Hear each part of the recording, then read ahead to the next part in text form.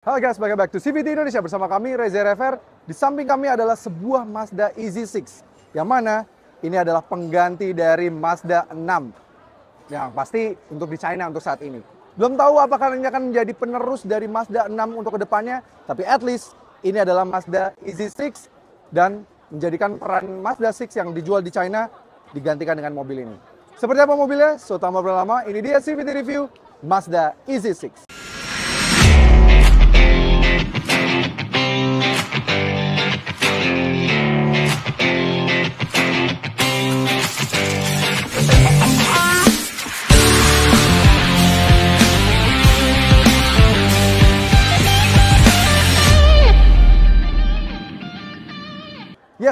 Kalau kalian sebelumnya berpikir bahwa Mazda 6 akan discontinue, no. Ternyata Mazda masih mengembangkan versi terbaru dari Mazda 6 dan versi terbarunya ini sekarang full new energy. Jadi dia akan available dalam dua pilihan mesin yaitu PHEV dan juga EV. Dia ada electric vehicle-nya juga. Berbagi platform dengan Toyota BZ3 dan dikerjakan dengan joint venture mereka yang di China ini dengan Changan, Mazda EV6 ini, EZ6 ini menjadi full new energy source. Jadi PHEV dan juga EV. Untuk spesifikasinya sendiri, Mazda EZ6 punya tiga spesifikasi. Yang pertama diimbuhi dengan baterai sebesar 58,1 kWh dengan claim range sejauh 515 km CLTC ya. Di mana punya motor listrik sebesar 258 horsepower dan torsinya 320 Nm. Yang tenaga seperti ini bisa berakselerasi dari 0 sampai 100 hanya di 5,9 detik saja. Ada juga opsi yang baterai lebih besar 79,9 kWh yang range-nya bisa menembus 705 km. Wow. Tenaganya 218 horsepower dan 320 Nm untuk torsi. Di mana karena tenaga lebih kecil, akselerasinya hanya 6,9 detik saja. Nah ada yang PHEV nih, tadi kan kami nyebut ada yang PHEV PHEV-nya dia skemanya extended range, jadi mirip dengan Nissan Kicks. Jadi walaupun dia ada PHEV, ada hybrid, ada bensin Tapi yang menjalankan mobil pure motor listriknya. Motor listriknya bertenaga 218 horsepower dan 320 Nm juga Tapi baterainya lebih kecil di 28,39 kWh. Dia bisa di charge juga dan ada power bank berjalannya juga yang harus diisi bensin yang mana mesin bensinnya yang tidak ber, menggerakkan mobil ini hanya bertenaga 1000 hanya berkapasitas 1500 cc dengan tenaga 95 horsepower. Tapi dengan skema seperti ini, mobil ini jadi punya range jauh banget, yaitu bisa tembus 1200 km. Wow. Keren-keren banget ya spesifikasinya.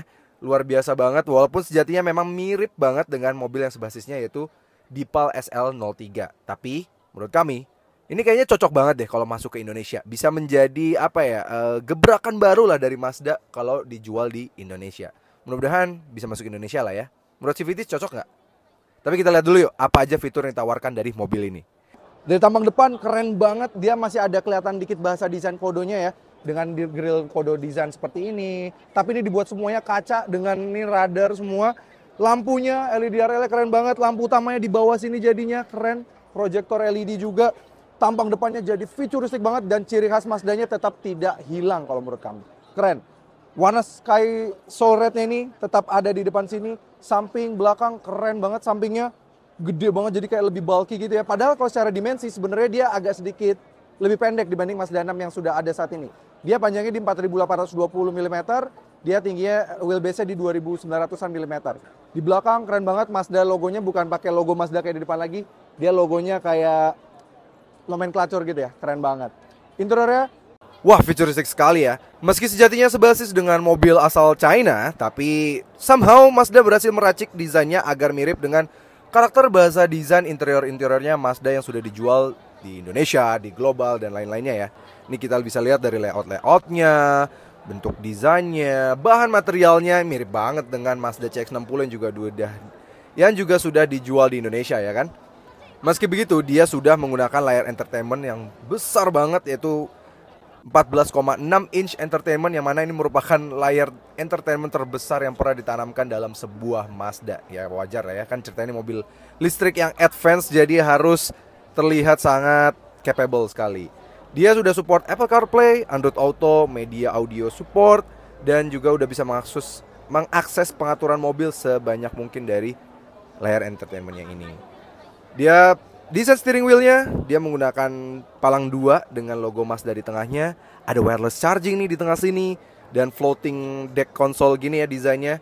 Dan speedometernya udah full digital juga, nice banget. Dia kursinya depannya juga mewah ala bucket seat, mirip banget dengan jok Ferrari ini ya.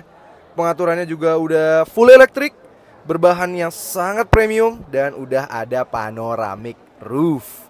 Wow. Di belakang material joknya juga sangat baik dengan disematkannya penggunaan material yang sangat bagus, headroomnya juga lega, legroom lega, udah di belakang fiturnya juga udah ada Trizone Climate Control juga di sini.